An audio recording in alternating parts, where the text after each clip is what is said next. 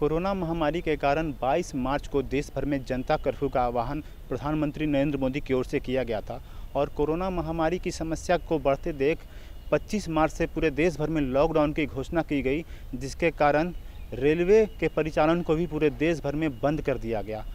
आज करीब 180 दिनों के बाद भागलपुर से अब रेल का परिचालन शुरू होने की घोषणा की जा चुकी है, इसके लिए नोटिफिकेशन जारी किया जा चुका है। और यह जो आप देख रहे हैं, यह भागलपुर से खुलने वाली स्पेशल ट्रेन है जो दिल्ली के लिए जाएगी। और हम आपको बता दें कि यह शनिवार को यह ट्रेन विक्रमशिला एक्सप्रेस के समय से खुलेगी भागलपुर से। और यह दिल्ली के लिए रवाना होगी। हम आपको बता दें कि यह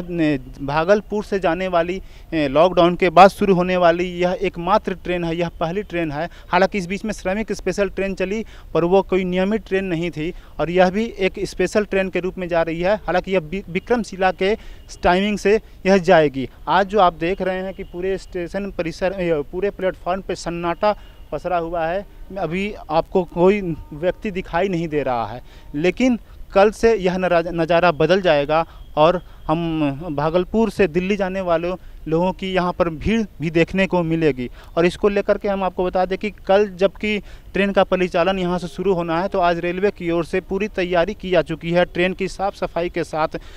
बोगी के अंदर की भी साफ़ सफ़ाई की गई है। इसका खास ध्यान रखा जा रहा है कि, कि कोरोना महामारी को देखते हुए साफ़ सफ़ाई का विशेष ध्यान रखा जा रहा है और जिससे कि किसी तरह की कोई परेशानी या कोई गंदगी या कोरोना से संबंधित कोई समस्या आने वाले समय में ना हो इसको लेकर के विशेष ध्यान रेलवे की ओर से रखा जा रहा है और तैयारी पूरी कर ली गई है आज साफ़ सफ़ाई के साथ भागलपुर रेलवे प्रबंधन की ओर से। डीआरएम के आदेश से यह सारी तैयारी की गई है। रेलवे बोर्ड की ओर से यह नोटिफिकेशन जारी हुआ था, जो भागलपुर से यह खुलने वाली एकमात्र जो ट्रेन है, वो दिल्ली के लिए, वो विक्रमशिला ट्रेन के समय से खुलेगी और यह भागलपुर से दिल्ली के लिए रवाना होगी और जिससे कि हालाँकि लोगों को काफ़ी राहत भी मिलने के हमने आपको बताया था कि 10 तारीख से यहाँ पर टिकट काउंटर खोला गया था, जिससे कि टिकटों की बुकिंग लोगों ने शुरू की और इसमें एक चीज़ यह खास करके यह दिशा निर्देश दिया गया है, सभी यात्रियों को भी यह गाइडलाइन जारी किया गया यात्रियों के लिए कि सोशल डिस्टेंसिंग का पालन करना हर हाल में सभी के लिए अनिवार्य है, जिससे कोरोना महामारी से बचा जा सके, कोरोना महामारी की समस्या को टाला जा सके। हालाँकि तेज़ी से कोरोना महामारी मरीजों की लगातार देश में संख्या बढ़ती जा रही है, लेकिन इसके बावजूद जनजीवन को सामान्य करने के लिए ट्रेनों का परिचालन भी शुरू किया जा रहा है और इसी के, इसी कड़ी में भागलपुर से भी यह ट्रेन बाहर जा रही, यह भागलपुर से दिल्ली के लिए ट्रेन रवाना होगी और यह, लोगों की यह भी मांग हालाँकि यहाँ देखने को मिली है कि दिल्ली, मुंबई कोलकाता के साथ गुजरात के लिए भी लगातार